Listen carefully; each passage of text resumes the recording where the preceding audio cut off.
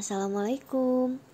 Hari ini aku mau buat martabak telur dengan bahan-bahan yang pastinya ada di rumah kalian.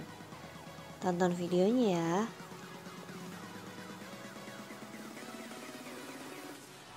Langsung saja kita ke bahan-bahannya. Yang pertama kita ada kulit lumpia Daun bawang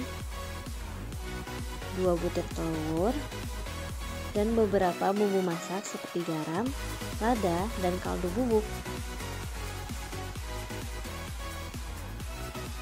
Langsung saja kita siapkan bahan-bahan untuk isiannya ya. Yang pertama potong atau iris-iris kecil daun bawang.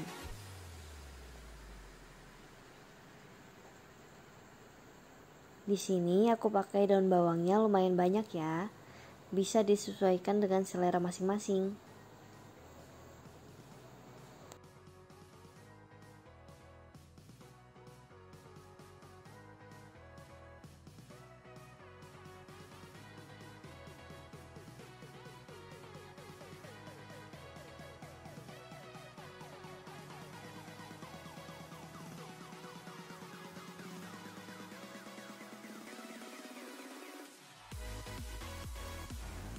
Jika semuanya sudah terpotong, langsung saja campur daun bawangnya ke dalam mangkuk telur.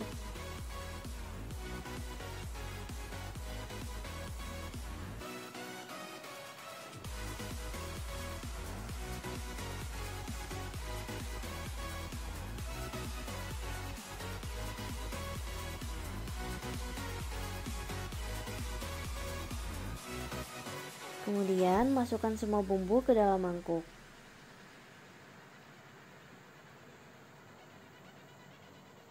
Jangan lupa diaduk ya.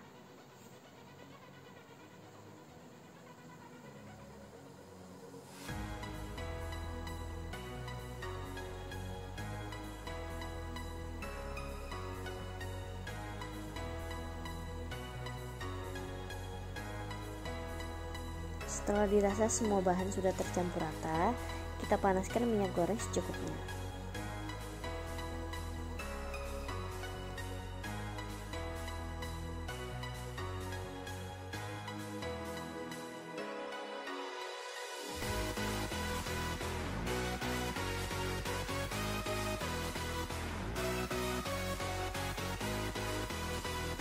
Jika minyaknya sudah panas, masukkan adonan telurnya, kemudian aduk-aduk telur hingga kering dan matang.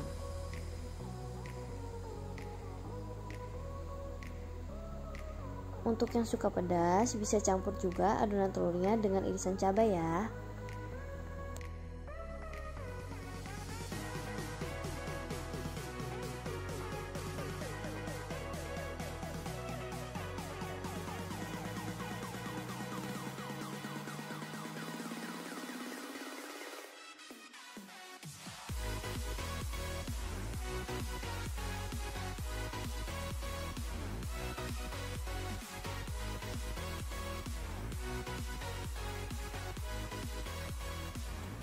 Jika sudah matang, letakkan telur ke piring.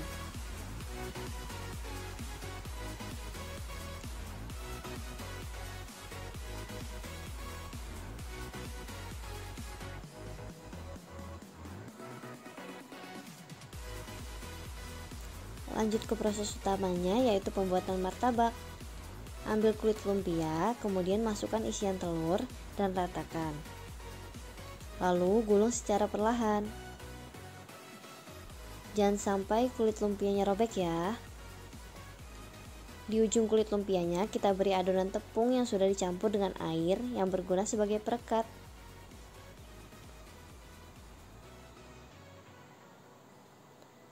Ulangi langkah yang sama pada pembuatan martabak telur lainnya.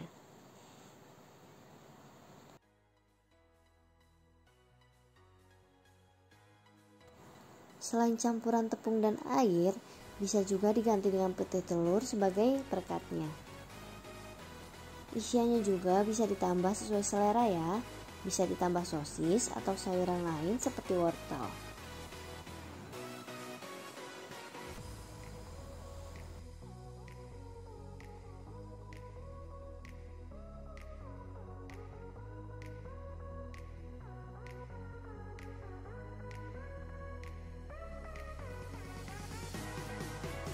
Setelah semua selesai, lalu goreng bahan martabak telur tersebut.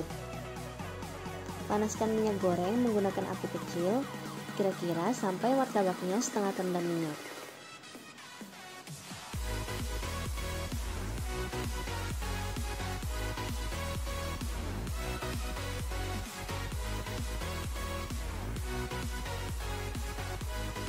Langsung saja masukkan bahan martabak telurnya ke dalam minyak yang sudah panas.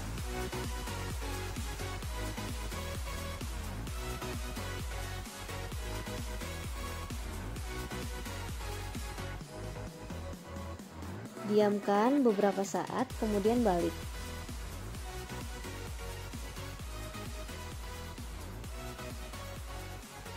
Jika warnanya sudah agak kecoklatan, angkat dan tiriskan.